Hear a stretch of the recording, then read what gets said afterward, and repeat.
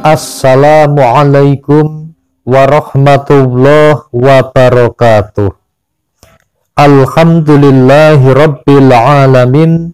Bismillah wa syukurillah ala ni'matillah wassalatu wassalamu ala rasulillah Muhammadin sallallahu alaihi wasallama amma ba'd Sahabat majelis taman surga yang mudah-mudahan senantiasa dimuliakan oleh Allah subhanahu wa ta'ala Bertemu kembali dengan saya Ali Akbar Nafis pengasuh dari majelis channel YouTube Taman Surga. Pertama-tama, mari kita awali pertemuan ini dengan mengucapkan kalimat tahmid bersama-sama.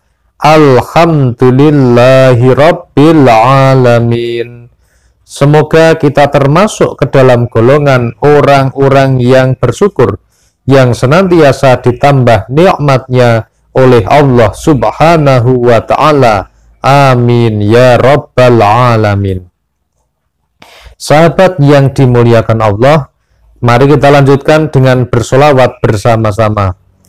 Allahumma salli ala sayyidina Muhammad wa asghili dalimin bidalimin wa akhrijna min bainihim salimin wa ala alihi wa sahbihi ajma'in Semoga sholawat serta salamnya Allah subhanahu wa ta'ala senantiasa terlimpah kepada baginda Rasulullah sallallahu alaihi wasallam.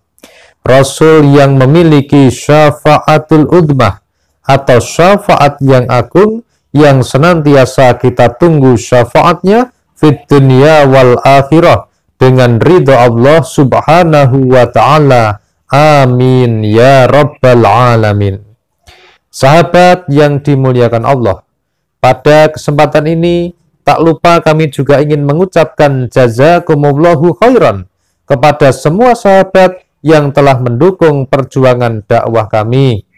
Terima kasih kepada sahabat yang telah share video-video kami, yang telah subscribe channel YouTube Taman Surga, dan menekan tombol lonceng di sebelah kanannya, dan memilih lonceng yang paling atas atau lonceng yang berdering.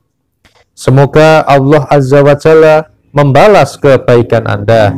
Mudah-mudahan Anda sekeluarga diampuni dosanya, kesalahannya, kekhilafannya, diterima semua amal baik dan amal solehnya, dilancarkan rizkinya, dikabulkan hajatnya, dilunasi hutang yang belum lunas, diberikan kesehatan dan kesembuhan dari sakitnya, dan semoga senantiasa diberikan ketenangan dan ketentraman lahir batin.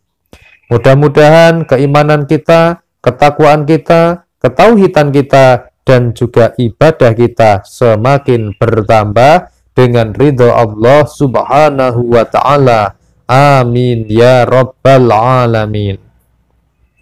Sahabat yang dimuliakan Allah, jangan lupa sehabis sholat duhur untuk membaca doa ini setidaknya minimal satu kali atau tiga kali dan akan lebih baik lagi kalau dibaca lebih dari jumlah itu.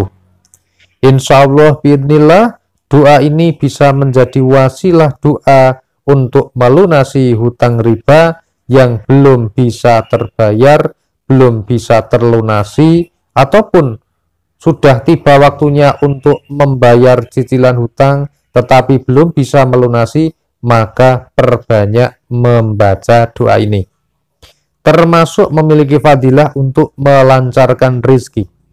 Jadi aliran rizki itu kalau ibaratnya jalan, maka jalannya akan menjadi jalan tol, jalannya bebas hambatan, sehingga rizki yang datang menjadi langsung mengalir dan menuju dengan cepat. Nah, sahabat yang dimuliakan Allah, doanya bagaimana?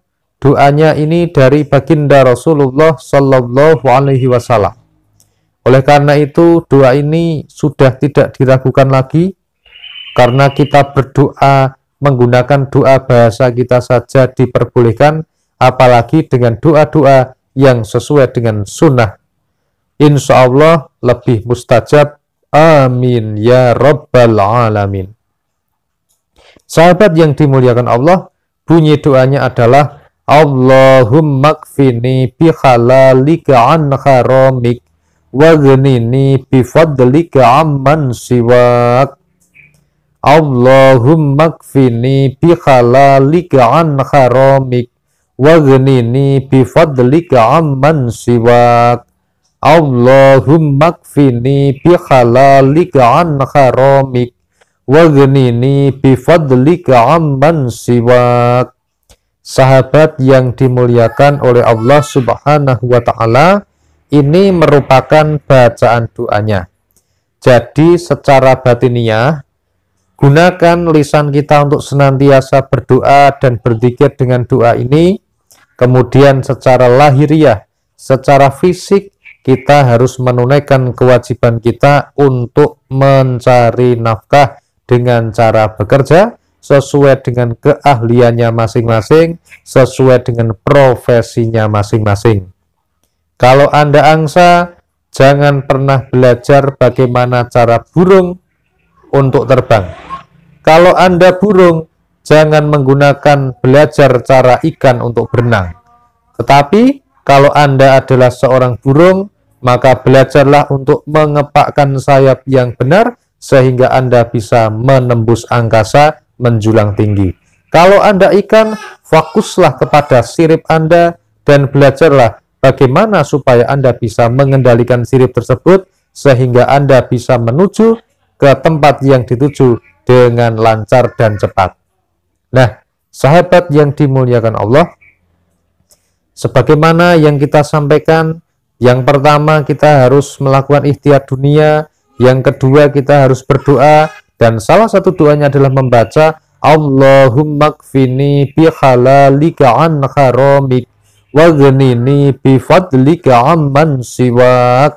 Mudah-mudahan dengan senantiasa membaca doa ini, maka kita diberikan kemudahan oleh Allah dalam melunasi semua hutang ataupun tanggungan yang belum bisa kita lunasi.